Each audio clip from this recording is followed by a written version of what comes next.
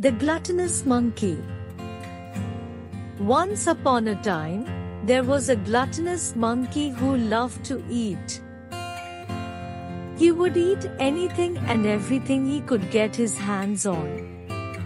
One day, the monkey was eating a banana when he saw a group of other monkeys playing. The monkey wanted to join in on the fun, but he was too full.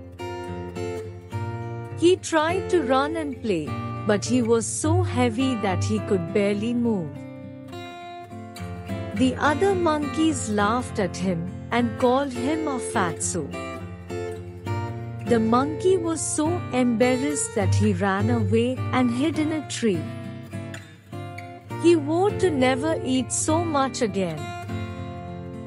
The next day, the monkey saw the other monkeys playing again. He wanted to join in, but he was still too full. He remembered his promise to himself, but he was also very lonely. He decided to try to eat just a little bit. He ate a banana and a few nuts.